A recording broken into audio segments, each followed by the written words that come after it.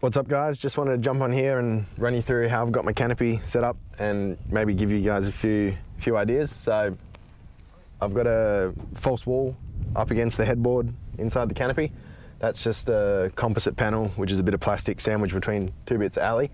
And then on that, I've got all my 12 volt accessories mounted to it.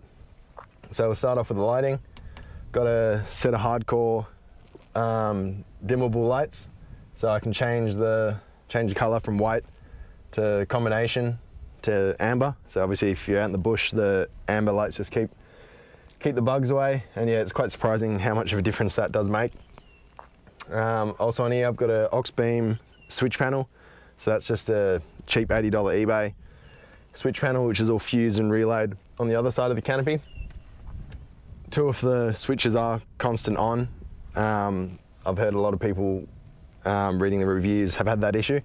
Luckily, I only need six, six switches for how I've got it set up at the moment, so it hasn't been, been an issue for me. Uh, I've also got two cigarette chargers and then two USB chargers mounted on this wall.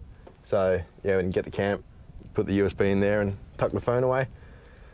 I've got a Renogy 500 amp um, shunt and digital digital display, so I can see um, what current I'm drawing, what charge is going in, and then the overall state of charge of the battery. We'll move on to the fridge. So obviously got a King's 80 litre fridge. The I did have a Bushman's fridge on order, but after doing a bit of research online and going back and forth, I uh, ended up settling for the King. So I think you pay $80, you get a three-year warranty.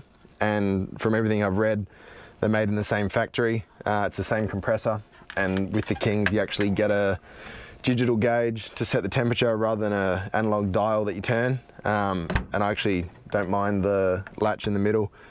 And there's actually magnets in the door seal that keeps it keeps it shut. Um, up here I've just got a bungee cord to keep the paper paper towel out the way.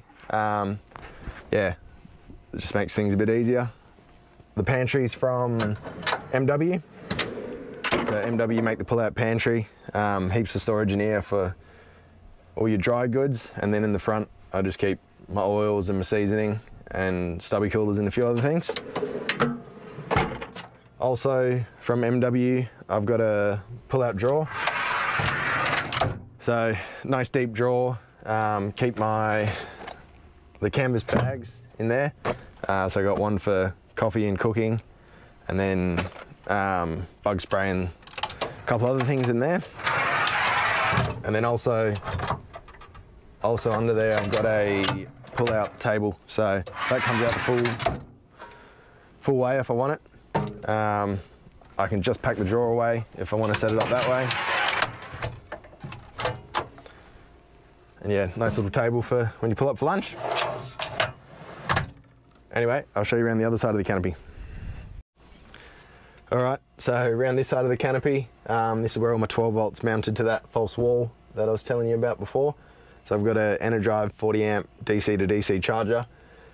Um, that's obviously putting the charge in from the alternator into my 120 amp hour lithium ATG battery. So that's from a local bloke in Perth from Lithium Battery Wholesale. Um, yeah, he's pretty competitive price and he's got a really good name for himself um, on all the Facebook pages.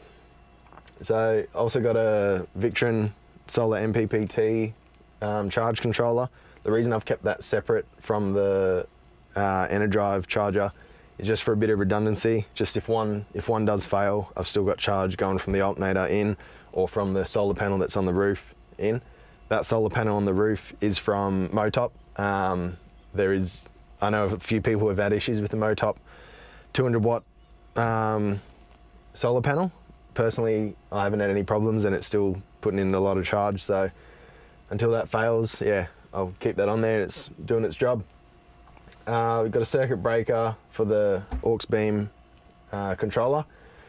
That's where all the fuses and the relays are.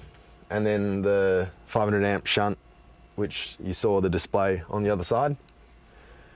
Uh, fishing rod holder up here. So that's just a, vertical rod rack that I've mounted on the uni strut on the roof. That keeps the fishing rods out of trouble. And then up here I've got a shelf just to keep all my gear out the way. All right, well that's how I've got my canopy set up. I find it super convenient to cook, clean up. Um, everything's easy to find. It gives me more time to enjoy the outdoors. So hopefully you got a few ideas out of it. Um, if you've got any questions about how I've got my canopy set up, leave it in the comment section down below. Anyway, thanks for watching.